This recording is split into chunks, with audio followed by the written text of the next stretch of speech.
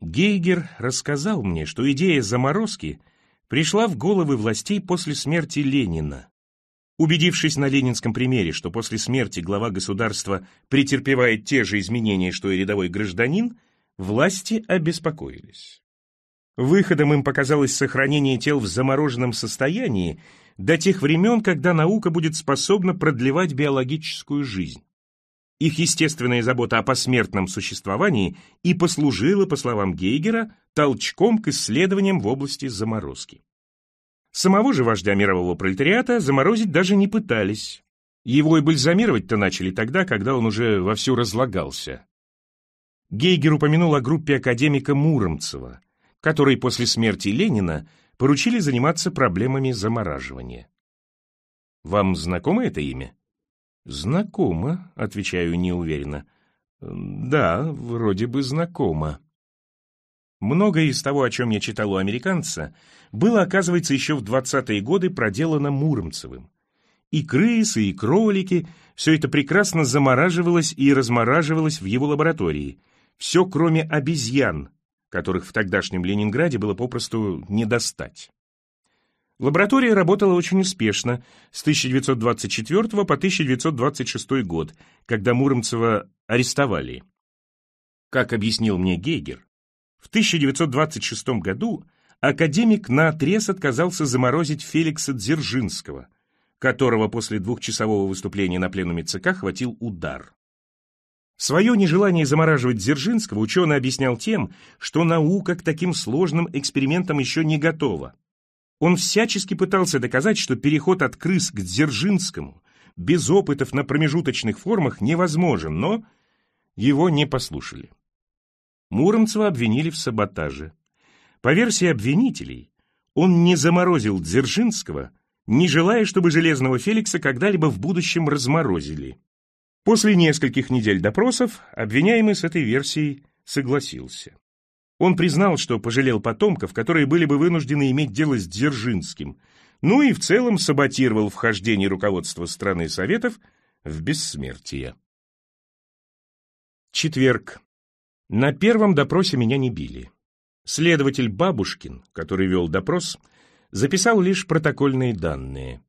Еще он спросил, признаю ли я свое участие в заговоре, организованном Ворониным. Сказал, что чистосердечное признание убережет меня от многих бед. Я отрицал все обвинения, и Бабушкин задумчиво меня выслушал. В этот день у него был усталый вид. Мне тогда даже пришло в голову, что чем-то он соответствует своей фамилии. После допроса меня отвели в темную, дурно пахнущую камеру. Я слегка замешкался перед открывшейся дверью, вид был ужасен, и меня с силой толкнули через порог.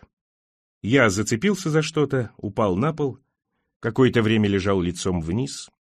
Глаза мои были закрыты, но нос вдыхал зловоние помещения, а ладони ощущали мягкий, почти разложившийся деревянный пол. Бывший когда-то деревянным, но изменивший свою природу от сырости и нечистот. И я лежал не шевелясь, словно все еще надеялся, что происходящее — сон, что нужно не выдыхать, не двигаться, а главное не просыпаться на этом месте сна, чтобы он не стал явью. Мои надежды не оправдались. В конце концов я все-таки встал. Сначала на четвереньки, затем во весь рост я увидел силуэты своих сокамерников. Большего было не разглядеть. Один из них равнодушно указал мне мое место на нарах. Меня никто ни о чем не спрашивал, а я ничего не говорил. Лег и на этот раз действительно заснул. И спал крепко, без снов. Среди ночи проснулся от чего-то стона, затем снова заснул. Утром во время побудки не мог понять, где я. На втором допросе бабушкин меня бил. Вероятно, накануне он и в самом деле был не в лучшем состоянии и решил не начинать дело спустя рукава. А может, статься вечером у него были какие-то дела. В этот раз бабушкин был свеж и никуда не спешил. Посадил меня на стул, связал мне руки и ноги, а потом, закатав рукава рубахи, бил наотмашь по лицу. Я чувствовал, как кровь из носа струится по губам и подбородку. Когда я со стулом упал — Бабушкин содрал с меня ботинки и с размаху бил деревянной дубинкой по пяткам. Это было невыносимо больно, но не вело к увечьям. Вероятно, даже в его ведомстве увечья не поощрялись. Когда бабушкин связывал меня, когда закатывал рукава, я не боялся. Думал, что так он меня пугает. Но он не пугал. Бил и делал это с некоторым даже удовольствием. Молча. Я тоже молчал. Впоследствии я видел в жизни много избиений. Они сопровождались криком и руганью, но это, из-за своего безмолвия, было самым необычным. Задав единожды вопрос, бабушкин решил бить меня до тех пор, пока я не отвечу. Я же молчал не из героизма. Я словно бы впал в беспамятство и слабо понимал, что происходит. Не получив ответа на свой вопрос, он все же задал мне другой. «Как вы?» Избивая меня, бабушкин странным образом сохранил это «вы». «Как вы убили вашего соседа Зарецкого? Зарецкий написал нам, что вы грозились его убить, только мы не придали этому значения». Он помахал передо мной письмом Зарецкого. «А зря. На третий допрос меня тащили под руки два охранника. Ноги мои после побоев так распухли, что я не мог идти самостоятельно. Ботинки уже не надевались, и босые мои ноги волочились по каменному полу коридора. На этом допросе бабушкин зачитал мне показания Аверьянова, подробно описавшего мою роль в контрреволюционном заговоре Воронина. На этом допросе я признал свое участие в заговоре и сознался в убийстве Зарецкого. Пятница. Гейгер принес мне покаянный канон. И я его весь день читал, медленно останавливаясь. Откуда начну плакать и окаянного моего жития деяний? Кое ли положу начало Христе нынешнему рыданию? Воскресенье. Сегодня Пасха. Ночью ездили с Гейгером в князь Владимирский собор, куда я ходил в прежние годы. Гейгер сначала не хотел вести меня туда, боялся, что в таком скоплении народа я подхвачу какой-нибудь вирус, но я настоял.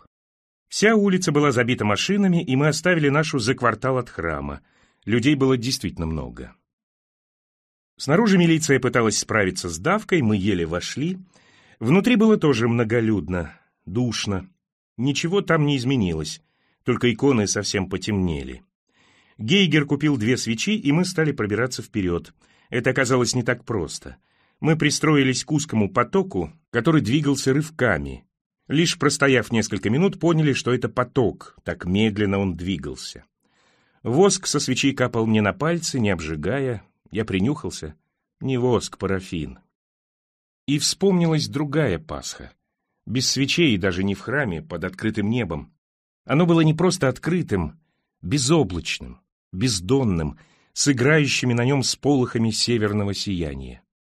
Единственный на моей памяти случай, когда нас, заключенных, ночью выпустили из рот, и мы собрались у кладбищенской церкви. Такой Пасхи я еще никогда не видел и, вероятно, не увижу. Заполняли храм по преимуществу епископы, так что для священников и мирян места почти не оставалось. Мы стояли между могил в подтаивших сугробах и ловили слова службы, которые доносились из открытых дверей. И пахло уже весной, и ветер был теплым, а под нашими ногами лежали сущие в гробех. Впервые за многие месяцы жизни на острове стало легко на душе. Мы знали, что после бессонной ночи нас ждет день мучительного труда, но никто не вернулся в роту, потому что охватившее нас чувство счастья было дороже. Даже те, кто находился в начале долгого лагерного срока, поверили в грядущее освобождение. Они ясно видели его в ночном сиянии неба. Вторник. Вчера прошла долгожданная пресс-конференция. Не я ее, правда, ждал, и не я торопил. Я лишь волновался, как меня примут. Ночь перед ней не спал и ночь после нее. Заснуть удалось только сегодня днем. Проснулся сейчас. Вечер, за окном темно, неуютно. Чувствую, прежнее волнение подступает. Ночью опять спать не буду. Как теперь жить? Я был укрыт своей неизвестностью, как снегом. А теперь-то как? Мое лицо нынче всякий знает, я знаменитость. Только мне этого совсем не нужно было. Если бы я был нынешним современник, меня бы моя известность радовала, я бы в ней, думаю, купался. Только ведь я им чужой, что мне среди них утверждаться? Они смотрят на меня, как на рыбу в аквариуме, в глазах одно лишь любопытство. Ощущаю себя неизвестно кем. Точно как в детстве, когда меня на середину зала вытолкнули и сказали «иди бестрепетно». А я трепещу. Прежде чем в конференц-зал войти, в дверную щель заглядываю. Уйма народу, телекамеры. Мне говорят, что многие не смогли сюда прорваться. И вдруг я узнаю эту залу. Я был в ней, когда учился в университете. Может быть, это университет? И то, что я помню залу, не значит ли, что я здесь учился? Хороший студенческий вопрос. У меня хватает ума никому его не задавать. Оказалось, не университет. Без моих вопросов мне сообщают, что мы в здании Академии наук. Над парадной лестницей, показывают, мозаика Ломоносова-Полтава. Не был ли я в прошлой жизни академиком? Когда мы с Гейгером и вице-президентом Академии наук входим в залу, все аплодируют. Вице-президент говорит, что, по его разумению, это аплодисменты научной мощи Российской Академии и моему человеческому мужеству. На словах о мужестве я опускаю глаза, поскольку все относительно заморозки помню смутно, а заодно и относительно мужества. Кое-какие из этих обстоятельств выясняются, когда слово берет Гейгер. Он сообщает собравшимся, что заморозка была произведена в Соловецком лагере особого назначения группой академика Муромцева, оказавшейся там в полном составе. Я перевожу взгляд на Гейгера, и он, не прерывая речи, утвердительно мне кивает. В нашем разговоре о Муромцеве он не упоминал о Соловках. В сущности, я мог бы об этом догадаться. Гейгер говорит еще долго, останавливается на особенностях хранения моего тела, на медицинских деталях разморозки, но я его уже не слушаю. Многое в моей памяти начинает становиться на свои места. Остров, мучение, холод. Особенно холод, космический, непреодолимый, который все усиливался и окончился вот, оказывается, чем. Боясь повредить моему выздоровлению, Гейгер запрещает журналистам задавать мне вопросы о прошлом, спрашивают о настоящем. На первые вопросы я отвечаю простуженным каким-то голосом, время от времени прочищая горло. Температура, говорю, нормальная, давление в норме, то и дело ощущаю губами шершавую поверхность микрофона, слышу себя как бы со стороны. Паузы в моей речи заполняются щелканием фотоаппаратов. Произношу короткие фразы и сам себя стыжусь. Так мог бы отвечать размороженный бабуин, но не человек Серебряного века. Известно, что первые недели после разморозки вы испытывали определенные сложности со здоровьем. Теперь чувствуете себя лучше? Э, лучше, пытаюсь раскрепоститься. Лучше, по крайней мере, чем в жидком азоте. Аплодисменты. Вот он какой, оттаял и шутит. Я чувствую, что краснею. «А вы с Блоком разговаривали?» — кричат из задних рядов. Гейгер встает и укоризненно качает головой. «Я же просил!» «Видел его на поэтическом вечере», — отвечаю, но не разговаривал. С Ремезовым разговаривал, в очереди. Он жил на четырнадцатой линии. «О чем говорили?» Гейгер угрожающе стучит карандашом по микрофону. «Не помню». Меня душит смех, но стараюсь сдерживаться. Я на восьмую линию за провизией ходил. И он на восьмую. И я не знал, что он Ремезов. Потом только понял по фотографии. Губы мои растягиваются в улыбку, и все в зале начинают улыбаться. Я хохочу, и все хохочут. Я начинаю рыдать, а в зале тишина. Гейгер бросается ко мне, его стул с грохотом опрокидывается, берет меня за плечи и выводит черным ходом во двор. Там нас ждет машина. Меня бьет озноб, так я промерз за все эти годы. И никогда уже не согреюсь. Среда. А ведь я очень хотел поговорить с Блоком. Я, который мало чего знаю на память, выучил его стихотворение «Авиатор». Вот его начало. «Летун отпущен на свободу, качнув две лопасти свои. Как чудище морское в воду скользнул в воздушные струи». Для меня даже узнали номер телефона Блока, но я так и не позвонил. Этот номер я про себя днем и ночью повторял. Я и сейчас могу его назвать. Шесть, двенадцать, два нуля. Четверг. Из Кеми нас везли на барже Клара Цеткин. в наглухо задраенном трюме, лишенном света и воздуха. В партии заключенных я садился на баржу одним из последних и оказался на лестнице у самого выхода. Людей там было меньше, а сквозь щели палубного люка просачивался морской воздух. Это спасло мне жизнь. Многие из тех, кого затолкали в трюм первыми, были раздавлены или задохнулись. Спустя примерно час после того, как мы отчалили из Кеми, разыгрался шторм. Волны Белого моря меньше океанских, но переносятся труднее, может быть, как раз из-за малой своей высоты.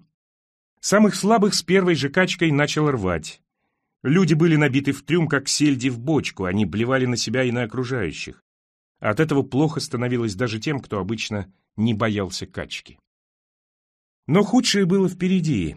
Когда корабль стал переваливаться с борта на борт, раздались душераздирающие крики. Это гибли те, кто стоял у бортов. Тысячепудовая человеческая масса прижимала их к ржавому железу баржи и расплющивала в лепешку. Когда позже их изуродованные тела тащили по пристани, за ними тянулся след кровавого поноса. Меня тоже рвало, просто выворачивало наружу. Страх утонуть, охвативший было меня в первые минуты качки, быстро прошел. Возникшее безразличие рисовало мне картину прозрачных холодных глубин, где меня больше не рвет и не слышно криков умирающих, где нет конвоя. В те страшные часы я почему-то не думал о том, что даже на дне никому из нас будет не выбраться из этого мрака и смрада, что даже на конечной глубине ржавый люк Клары Цеткин останется задраенным, и нам предстоит вечно плавать в собственном кале и блевотине. В бухте благополучия на пристань нас выгоняли пинками. Тех, кто был не в состоянии двигаться, велено было тащить другим заключенным. И те, кто шел, и те, кто не мог ходить, чувствовали примерно одно и то же. Мы были счастливы, что остались живы, потому что ничего страшнее чрева Клары Цеткин никто из нас в своей жизни не видел.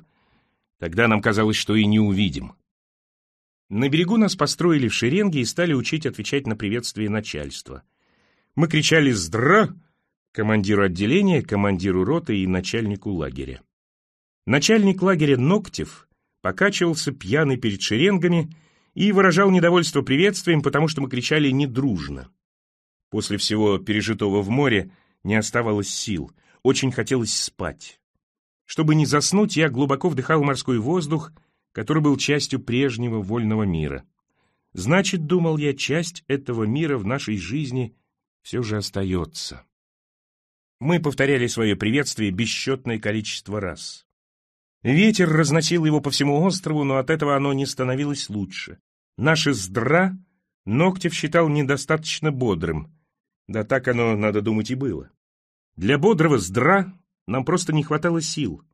Кричали урки и академики, епископы и царские генералы, но их голоса не сливались в единый крик. Я стоял в первой шеренге рядом с генералом Миллером. Это был боевой генерал, прошедший Великую войну, довольно еще молодой.